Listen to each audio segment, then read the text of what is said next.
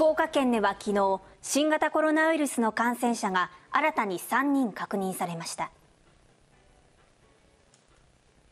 福岡県によりますと新規感染者は北九州市で1人県が管轄する地域で2人でした。北九州市では50代の男性50代の女性1人の死亡が確認されています。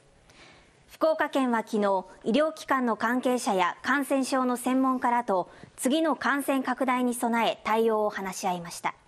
第5波では医療提供体制の強化に努め病床を多く確保していたことから使用率に余裕があったと総括し引き続き病床を確保するとしました。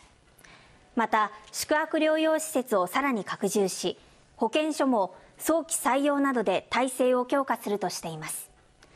佐賀県では7日連続で新たな新型コロナ感染者は確認されませんでした。